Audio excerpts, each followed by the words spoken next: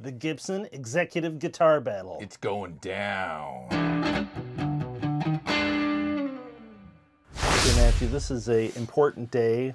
This is Thursday, November the 1st, 2018. November the 1st.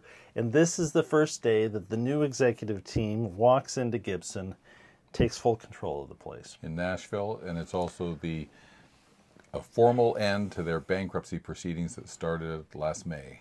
Okay, so clean slate, New new balance sheet, whole new day, new team. new team.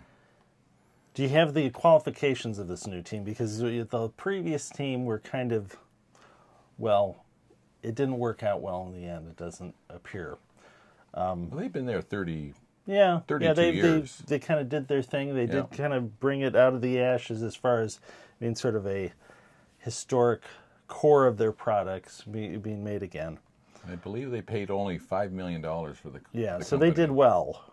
Yeah, but the new team is going to kind of fix the the troubled Gibson is the plan. So do we? The question is, do we have any specifics about this new team Yes, we do.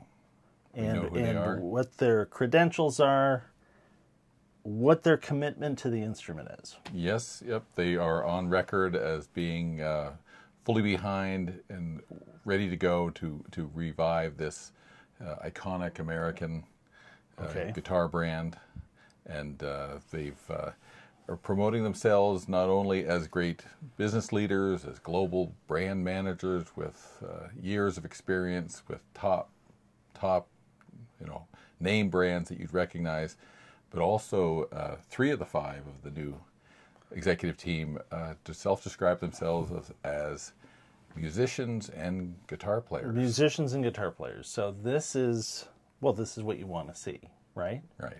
You know, if you're if you're an executive in an auto company, you want to know that the guy, well, the guy's going to drive a car, right? Right. Right. You know, either. Maybe uh, don't have to be professional. Yeah, but yeah, You don't want maybe somebody uh, I don't know yeah. Crashing a car in uh, on a on a uh, race course. in No, no, that you don't want your executive doing that. No, because that would uh, maybe say, do these guys really know what the heck they're doing? Or if you can't really play guitar, would you think, No. do I want to buy a guitar from these guys? No, you don't want a guitar. You, I mean, it's nice to know that the people in charge, if you know the product, and what better way to know the product than to play the product of it's a guitar, right? Right. So you again, you don't want the uh, auto exec crashing the car into a wall. You don't want your you don't want your your guitar exec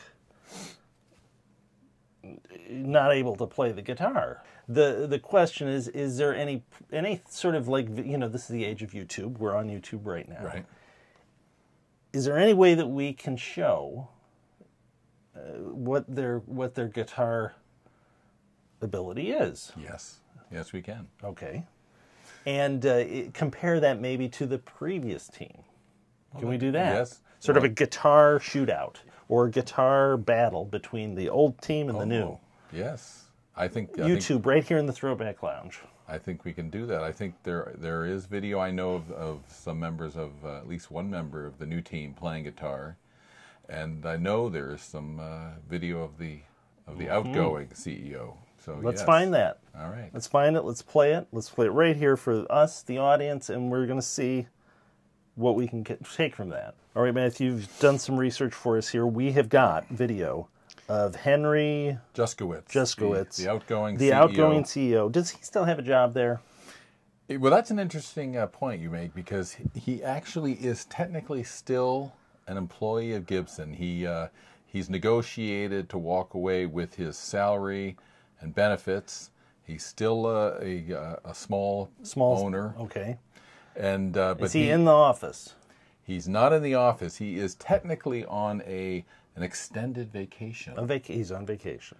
Okay, so right now you've got you've found a, a clip. Yes, this is uh, this is Henry playing, All right. and we'll roll this Whoa. right now. All right. Let's have a listen.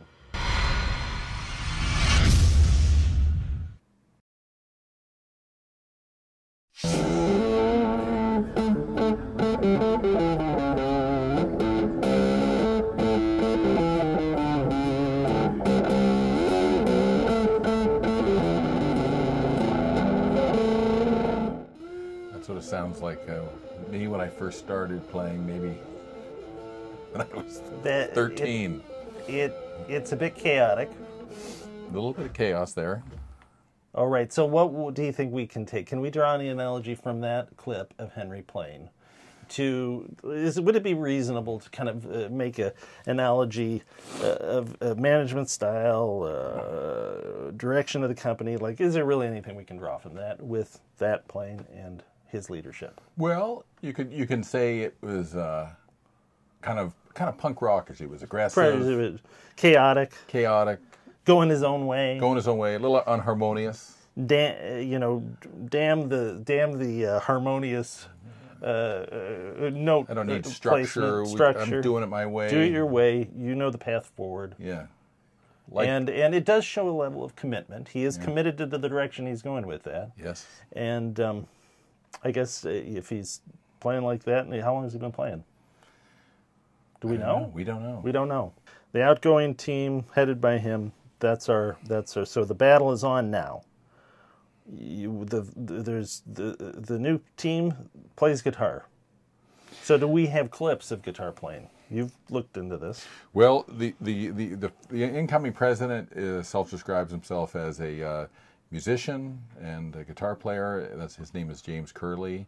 Um, we couldn't find any video of him playing guitar, but I did find some video of him. No video of him playing the guitar. No. No. So if maybe if somebody has something, Yeah, if anyone's got any, we'll, I guess we'd like to see that. Yeah. but we did find some video of him singing, and he's singing unaccompanied A cappella. a cappella at the beginning. These are these are clips taken from uh, conferences where he's Okay. speaking, and he comes out onto the stage. This is uh, meant to inspire. It's like a lead into the show. You're going to hit hit the audience right right at the beginning, get them involved, yeah, and show that you know. show that you enthusiastic and kind of point the direction of the talk.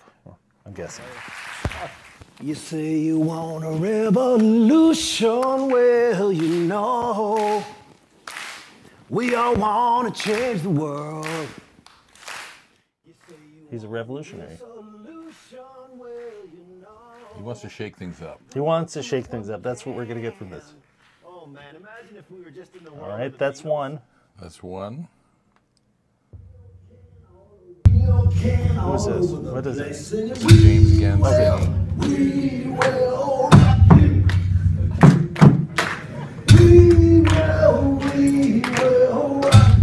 You cannot think of that song. There's a little clip of just "We Will Rock You," so you right. can maybe hear Brian May coming in right in. Well, that. so far, what can we take from this? There, there is a um, there's he's he's uh, hmm. Let's hear the, let's hear another one before we.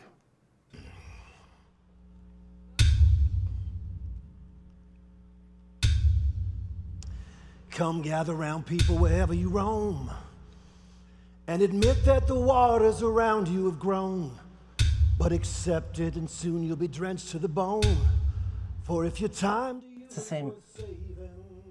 he's using that same. It's the same beat. swimming, or you'll sink like a stone.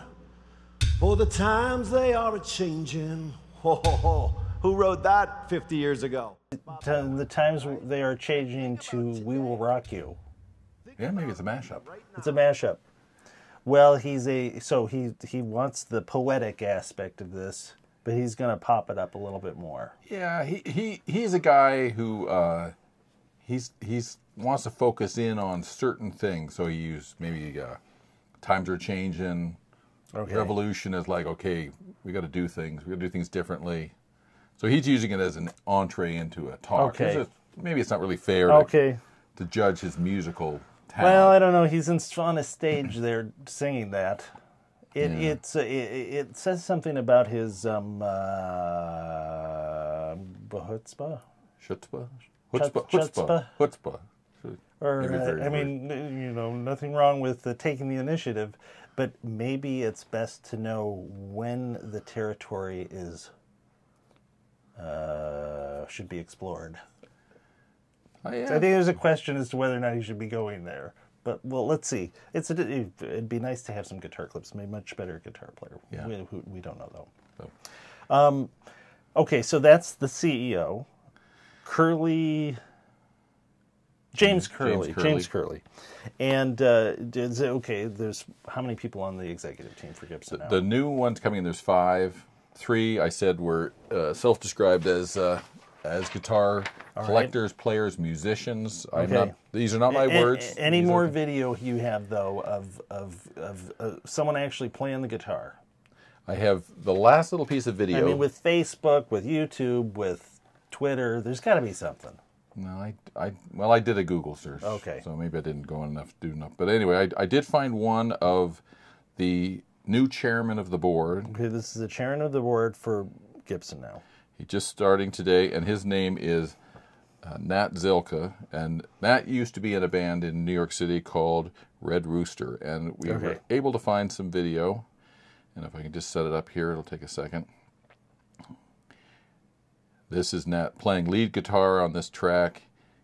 If we get into the vocal, he is not singing, but he is playing. And I find it interesting, he is playing a Les Paul, and this is called Christmas Blues, How Red old Rooster. is this clip?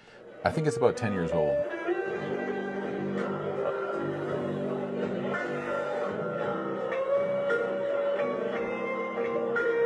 Yeah, That sounds The pretty guy good. guy knows what he's doing. Yeah, Confident, on stage, yeah.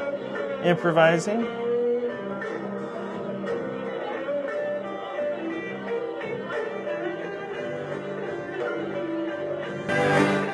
Les Paul, Playing a Les Paul.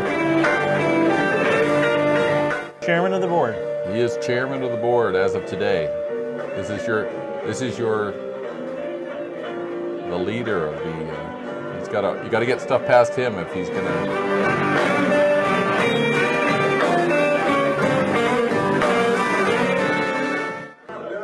Okay, so if you're this, if you're a guitar player, this is what you want to hear from your your chairman of the board. Okay, that was good. Yeah, He's good. I think he's very good. Yeah, that, I'm I'm feel good about that. I mean, i- i- if you if if if we as guitar players, right, we want to buy something, and uh, that I do, uh, you know, I want to know that the guy that the people making it have some concept of what the player wants. Sure. No, if he if he if he's in a uh, if he's looking at a prototype and he picks it up and he'll know, I think, you know, that if it's a quality Yeah. instrument or if. Uh, so I, I guess you got to look at the. They got to look at all the costs of doing business, but they also have to look at the final product and okay that. So Well, good for. What's the chairman of the board's name? uh, Nat Zilkha. Nat Zilkha. Good job, Nat. Keep it up. So, we've kind of established, I think, from these clips that, from a player's standpoint, maybe the previous leadership, chaotic playing. New leadership, the one that we've heard of, guitar playing, good. The CEO singing, I question his judgment, but but uh, you know, he's he's got the, he's got the uh, initiative. Let's put it that way. He's got He's willing to take chances. willing to take chances, and um, um, present it as if it's the right direction. Right. Let's hope that reality, though, doesn't get in the way. I Do you think they're going to quit their day job and go on the road? No, I wouldn't. No. No, I'd let's probably- keep it a hobby. Where does the, where does the CEO come from? Did you mention this earlier? the CEO, his last job was leading another iconic brand to back to glory. okay. Was uh, the Levi's jean Ah, company? so Levi's, so a kind of iconic brand. yeah, that was it, kind of in, in hard times. It was being Yeah. being uh, beaten up by uh, new brands coming in, and uh, he came in six years ago, and Yeah, I think you showed me a um, a clip that has him discussing a wearable jean ja- uh, electronic wearables incorporated into uh, Levi's jean jacket. yeah, that was there was a that was a case of uh, innovations. You- Innovation. You That's- take an iconic brand, Yeah. And then you add something You to add it that's innovation. never been there before. so he- Like, but to me, that sounds like the Robo Tuner, Hmm. possibly. Possibly. I've never seen Uh, the, the. It was a it was an innovation between Levi's and Google. Yeah. I've never Like it just because it can be done doesn't mean it needs to be done. Right. And two, it's a classic. You know, the, what's more classic and simple than a jean jacket? Right. You got a classic design, and now you're adding this layer of complexity to it, and now it's doing something that the classic design was never intended to do. Right? But I don't know. But his his his argument back to you would be, uh, Jon, if you just stand still and you don't innovate, you're going to be a thing of the past. you've gotta you gotta move forward. You gotta Okay. Well, yes. so All right. Let's. Uh, well, it'd be. It's going to be interesting to see what their take on innovation is. yeah yeah. You know, in, with Gibson, I don't think the RoboTuner thing worked out well. Should we offer them some of our consulting expertise? Uh, Yes. Totally unsolicited. Absolutely. All right. Because the guitar players, if they know anything, they know Do you have anything you want to add first? how any uh, how a guitar. yeah, I mean, uh, really, every uh, guitar. everybody knows what they'd like to see. Sure, and it, I think this is kind of like the uh, entertainment on forums. Is the you know every guitar player knows first uh, of all that Gibson's doing everything wrong, and then second of all, they know exactly what Gibson should do. Exactly. If they only would listen to me, Yeah, so- everything would be just fine. So Yeah, we we we make guitar electronics, so we maybe we've got a little bit of uh, insight there, into this, right? Well, I'll, I'll pick up on what uh, James Curleigh, the new incoming president, would, was probably going to tell people today in Gibson. I'm sure there was a meeting, and he met with probably as much of the staff as he could, and he's going to give a Do you suppose he led it with with uh, We Will Rock You? We will rock you. But I bet you one of the things that he talked about was that, hey, we've got a 116 year old history here. We're an iconic brand, and we're going to, today's a new day, and we're going to bring this brand back, and we're all on this big team together, and we're, we're going forward. Sure. It's a big pep talk. It's Pep a big talk. day for them. And they've been through a rough patch, let's face Yeah. it. They've had some tough times going back a few years. and Set the tone, positive tone. Yeah. And I think that's what Curleigh comes in doing. He is a kind of a positive guy. He's going to be, be that pushing that is important. I do agree with that. so he's gonna, but he's gonna tell them. He's gonna say, "Listen, we're an iconic brand, but we're also we're gonna we're gonna do things.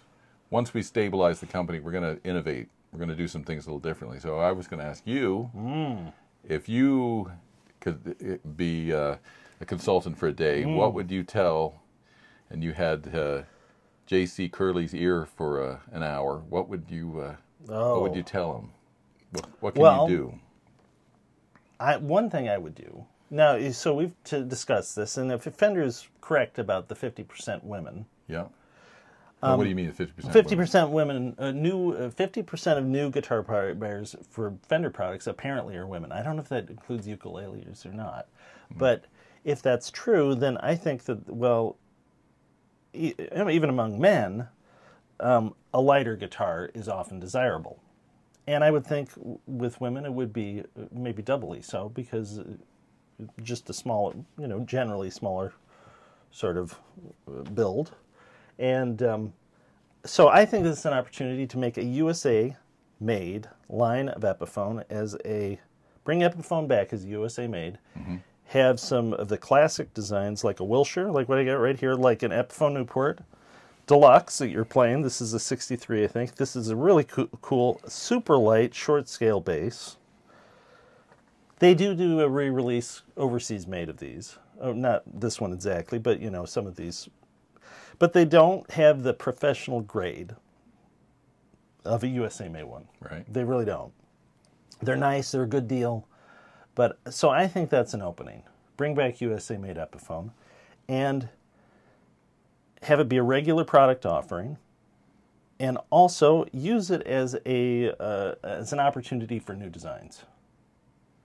What do you think about that? Maybe maybe like a uh, like bringing like Ray Dietrich. Maybe people who know who Ray Dietrich was. He was was the is that the Firebird design? No, who's I believe it was the Firebird. Okay, yeah. Bring in an outside designer with a uh, that that's what they do. They design cool stuff. He was an auto designer, I believe. Yeah, and you bring him in. Say we've got some ground rules for this. It's got to be. Uh, it's got to have the sort of design elements of a classic Gibson. So it's got to be an ABR one bridge.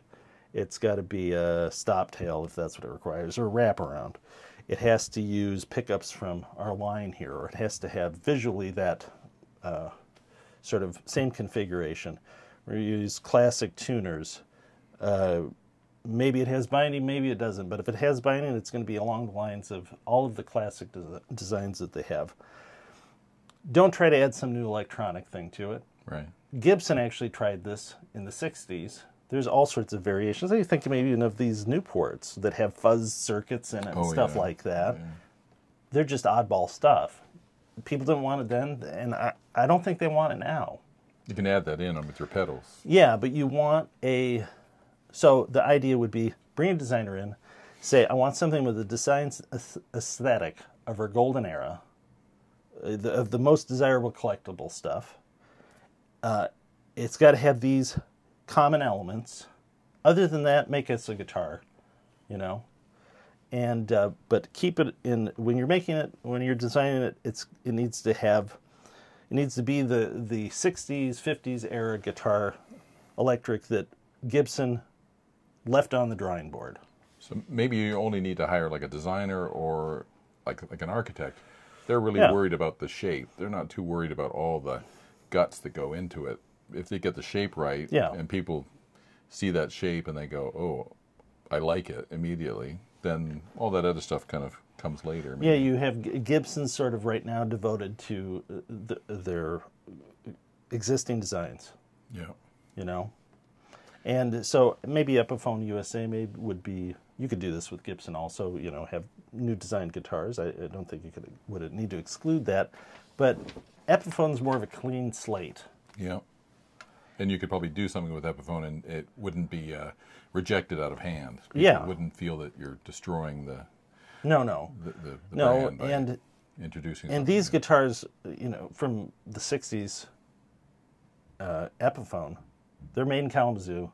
These are high quality instruments, although maybe marketed towards students.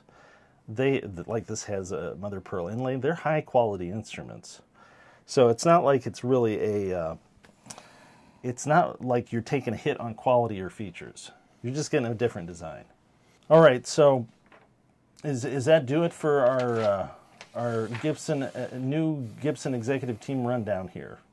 I don't know if you want to talk about uh, other kind of buzzwords that uh, some of these brand managers like to Sure. throw around. A little buzzword that the brand manager type people like to throw around is accessible, but then you also have the aspirational product. So the accessible product Oh. is the affordable, Oh, standard, see. the guitar or product that is you know everywhere and it's easy to get. And then there's the The aspirational. aspirational one. Okay, got it. So so in in uh, Pri- priced only for an exclusive few. yeah. Features that only you only most can people can mostly just dream about. Right. So I'm gonna I'll throw two examples at you. When when uh, James Curleigh was president of Levi's, he created the aspirational Levi's pair of jeans. You can Got go it. and get a custom pair of jeans made. They're fitted for you. You choose the fabric count, the, Yeah. the thread count. You, you choose the stitching, and uh, they'll get- they'll cost you seven hundred and fifty bucks. Would you buy that pair of jeans? I wouldn't. So I did I did a little bit of math and I said, okay, what would the aspirational Gibson guitar cost if those jeans cost seven hundred fifty dollars? So I came up with a a Les Paul, let's say, that around the using the same kind of math figures and ratios, it's a fifty thousand dollar $50,000 aspirational Les, Les Paul. Paul. Would you buy that guitar? I, I can't. and you'd be able to you'd be able to pick everything No, about it. I, I no no, but if if I had the available cash and the, I, I'm a committed uh, guitar enthusiast and money's not an issue, I guess you would. you're you're You a could.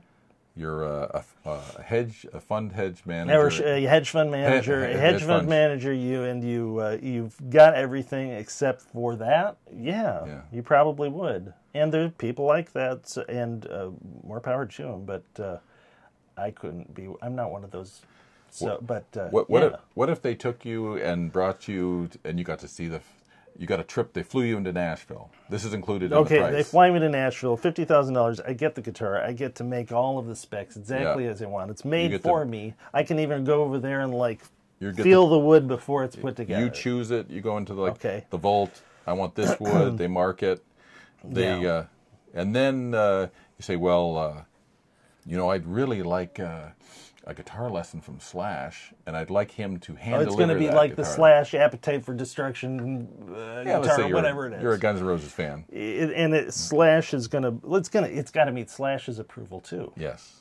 It's got to it's got to clear the Slash uh, yeah, crossbar there. It's got to be at his standard. That would be cool. And Slash is there when you get it, and he gives you what you get. It, he gives you your guitar. You, and you meet him, and you, he gives you uh, you get to have like maybe let's say a guitar lesson for an hour, so you get to Oh. hang out. Yeah, now that's it's looking more attractive, isn't it? So- At fifty thousand, that's a pretty cool experience. Yeah. All of a sudden, it takes on it's something you're going to remember. Yeah. Obviously, forever. You're not. Gonna, Yeah, that sounded pretty good. But you know, the first thing that happens once they get it home, they call up ThroBak and they want to change pickups. Well, you can always improve. You can improve It's, upon it- greatness. it's going to happen. I, trust me, it will happen. So that leads into our next question. Will Will Gibson phone us here at ThroBak and oh. say, "We want to use We your want our machines back. We want our. Well, first of all, they're ours. You can't have them Then back. I can't have no. them um, And, you know, they should have kept them. We hmm. make we use them to make cool pickups every day. Haste makes waste. They have called us for custom sh- shop stuff in the yes. past. Yeah. Um, Seems unlikely. Seems unlikely. Seems unlikely, but who knows? Well, let's just say if they it. did phone us and they put an order in for, let's say, I don't know, let's say hundred pairs of Oh, uh, sure. humbuckers, would that be a problem? no, We could get that. done? literally every part of it, as you know, is made with our stuff, tooling, bombs, everything. Yes, we can do that. So I guess there is a precedent for this. They have these uh, Ron Ellis, Lee Roy Parnell yeah, ones for a, um, I guess a artist requested. But yeah, we can do it. we can do it. you know, we can do it. Yes, I agree. Absolutely, no issue. That's actually kind of one cool stu- thing about uh, uh, our stuff is that uh, from the beginning, I I thought I don't want this sort of endless back order deal because you see other guys had that, and it never seems to work out well. So, getting stuff made in time is the way we do it, and we we do this for Collings and other guitar makers getting them done on time, meeting production schedules, no problem. This may be very sensitive, but I thought I would ask this okay, question. this we don't know if we can mention this. this, this, We're gonna see if this fit, we can fit this into the show. You were a little afraid that we may be stepping on some toes here. yes, Okay. upsetting some people, so I don't want to do that. Okay. But uh, my question was, do you think Gibson, maybe an unexpected thing, would Gibson return to Michigan, the place You of mean- their birth? Would they would they come back to Kalamazoo Wow. and maybe maybe maybe they wouldn't purchase Heritage outright. Maybe they would say, "Hey, there's room enough for both of us," but they would, or maybe they would buy them. But they'd make outright. something out of the old building, the historic building. Yeah, I mean, uh, I believe they've saved that smokestack that said Gibson on Yes. it. So. Well, does it seem likely? It seems unlikely, but imagine you've got your 50,000 Les Paul, dollar Les 50,000, Paul, right. or whatever it is. Your, what did they call it? That sort of. Uh, The aspirational. The aspirational guitar made in the Kalamazoo factory. Right. You go there, you get to have whoever slash hand it to you, get a guitar lesson in the building. Yeah. And it's just devoted to that. Just the the, the super high end stuff. Yeah. Yeah. You might actually be able to pay for that pretty darn quick. It, it- knowing that this is a, you know, guitars, this iconic mm-hmm. pop symbol around the world. And you've got Les Paul's vintage ones going for, you know, hundreds of thousands of dollars, museum pieces. What better way to get your aspirational guitar than to pick it up in a museum? No, but if you think about that, if you if you said this Les Paul is made in the old factory, and there's equipment at Heritage like the the, the machines that glue the bodies together, the hold the, the bodies together, that never left the factory. So there there is equipment there that is original. Actually, we have video of the old old factory that we went. We took a tour right before they were going to clear everything out and fix it up, Yeah, they're going to renovate. and we have a video of you in the restroom. that, That restroom, restroom was- is the most memorable restroom I've ever been in. Yeah, that- we'll, they'll show that. The rest It's horrifying and uh, intriguing and definitely historic. it was an historic That restroom. is gone. It was it was a relic.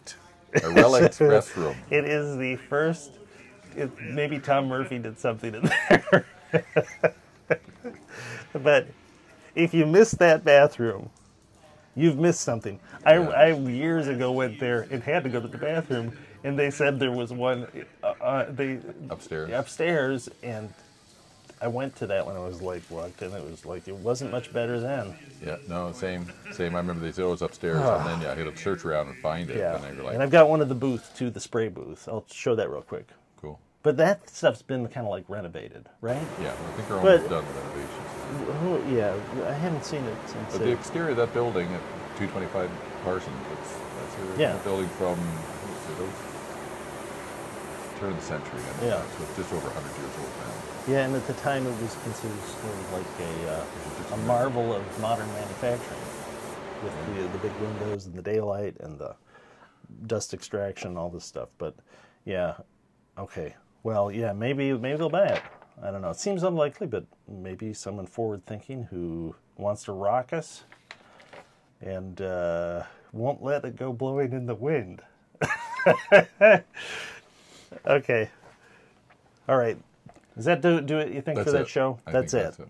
That covers all I think we covered it all exhaustively. We're probably exhausted from it. Well, if you like the show, Matthew, did that go well for you? Yes. Yes. I Okay. good. survived. If you like the show, click like. And if you have questions or comments, leave those, please. Uh, the phone's ringing, but I'm going to keep going. If uh, if you uh, want to subscribe, click subscribe if you haven't already. Uh, click the uh, the bell if you want uh, notifications of future videos. And once again, thanks for letting ThroBak be part of your search for great guitar tone.